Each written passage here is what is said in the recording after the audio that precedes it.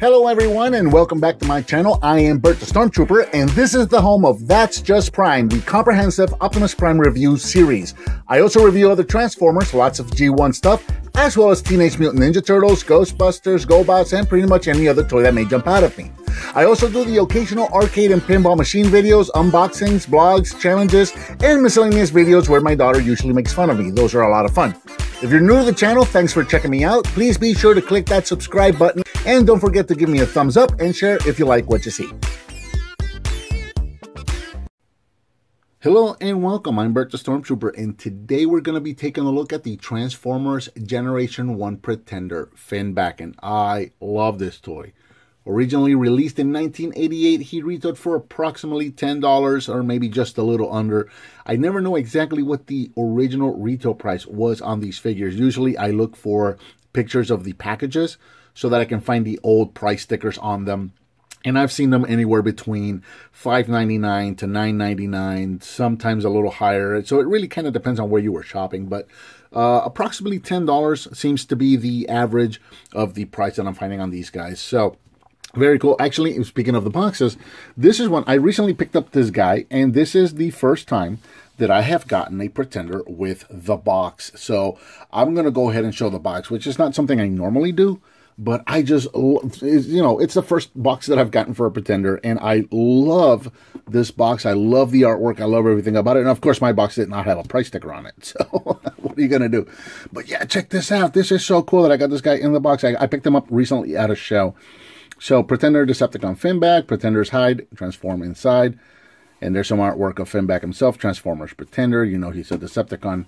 Over here on the top, it shows you that Pretender, Pretenders hide the Transformers inside. And so they kind of show you the, the robot transforming to a hovercraft and back. So look at that focus there.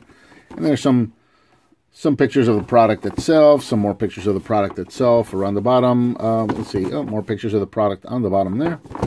And then around the back, some really cool artwork. And I always loved this artwork on the back of the boxes here. I remember uh, when I got a little older and I was out of Transformers, but my brother was still playing with them, seeing this art on the back and just seeing that Power Master Optimus Prime that I always loved seeing that. So there you go, Decepticon Finback, And he is the Naval Assault Vehicle.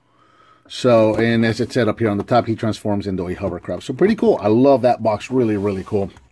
We'll set that aside and we'll come back to checking out the figure. So Finback is, once again, one of those Decepticon uh, kind of monsters. Uh, not really a human, but more of a monster. And it's going to be an aquatic or a sea themed monster again. So really, really cool. I love the head sculpt on this thing. I love how the head is kind of like two pieces. So you got this gray piece here to be the top of the head, and there is an actual jaw. You can see some teeth actually molded right in there. And then the actual bottom of the shell has the bottom jaw with the bottom teeth right there as well. Very, very cool. I love the molding on this. And then all the armor pieces are very, very cool. The purples and the yellows look really nice together. Going all the way around, he's got that fin. This is very reminiscent of Submarauder with this fin on the back there, that kind of like that shark fin. He's got a little tail there and some fins on the back there kind of some gill looking things on the back of his legs. Very cool. I really love these crazy monster designs that these Decepticons had. So he's got this kind of like a harpoon gun, which mine is a little curvy, and apparently this tends to be a normal thing uh, for these figures. The tray the uh, uh, on the packaging, the tray for the weapons is not long enough for this weapon. So this weapon was actually wedged in there, and it was wedged in there like that in a curve. So that explains why every time you see a, a, a Finback harpoon gun, it's bent like that. It's because that's the way it was packaged. He also comes with this little gun here, which can be, uh, this is going to be the one for the robot, but it can also be attached to the fin there. I love that his arm, his right arm here is just a fin. You know, very, very aquatic creature kind of thing. But you can take that weapon and just plug it into the side there to kind of give him that claw look. So very, very cool. As with most shells, not much of articulation except for the arms can move up and down. And that's going to be about it. So go ahead and remove this weapon and uh, take a look at that. And this is, again, going to be the weapon for the vehicle mode and for the small robot. That's why we've got the small peg there. We'll set that off to the side. And again, there's Finback with just a kind of like, it just looks like he's going to spear you or just, yeah, go right through you with that. That is so, so cool. So one of the few figures, uh, well, not few, uh, I guess uh, the other way around. This is one of the common figures where you have to take off the belt to actually open the shell, unlike some of the other Transformer or uh, um, Decepticon pretenders where they, they might have had a belt, but it was only uh, attached to the front, so you didn't have to remove it. Once again, we're going to have to remove this one, so we'll go ahead and carefully pry that off to open the shell and reveal the robot within. There you go. So we'll set him down. Go ahead and close up the shell one more time. Give him belt and set him off to the side. And again, we've got ourselves two action figures here now, which is very, very cool. So we'll put his arms down. I wish we could use this harpoon. This harpoon gun is so cool. I really wish we could use this for the small robot. So we'll send him off to the back. Get Finback here, straighten him out, open his arms, open his feet. And there you go. There is Finback in robot mode. And again, uh, you know, very cool about all of these pretenders is that they're pretty much the same. They're same two or three robots they keep using over and over, but they keep remolding them. So they're all very different. Very cool little robot here. Here, the small robot is approximately, set, or I didn't, uh, so the shell is approximately seven inches tall. The small robot is about four and a half inches tall. So about the same size as all your other pretenders here. So very cool. For articulation, he can turn his head and then his arms can go all the way around.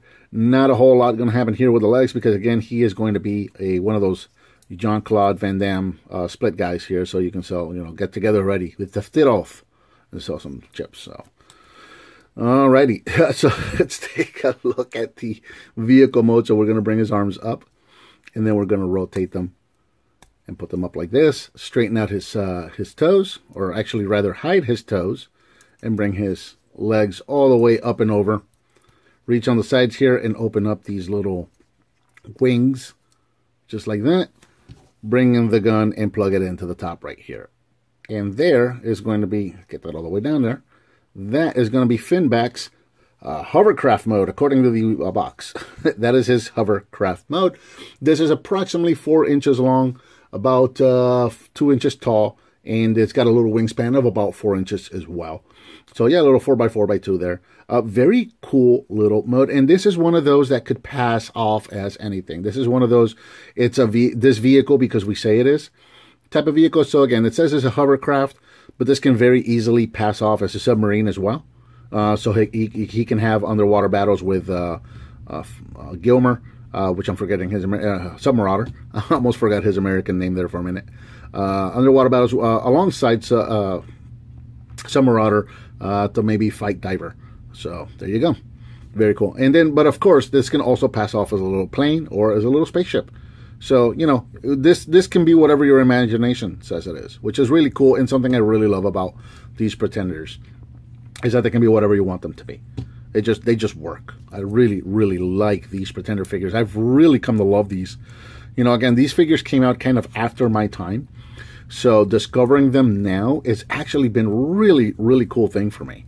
Uh, I've really enjoyed all of these Pretender figures, and I've, I've amassed quite the collection of them. So there you go. So now one more time we're going to bring in this weapon. And again, we've got that small uh, peg right there. So that is the one that is going to be used for the robot mode so that he can hold his weapon just like that.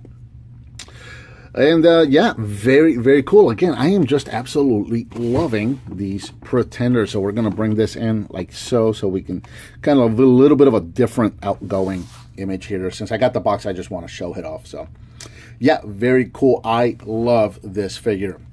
And that is going to do it for Transformers Generation 1 Pretender Finback. What did you think of this figure? Let me know by leaving me a comment down below. Give me some thumbs up. Subscribe and share with your friends if you like what you see. And I'll talk to you next time.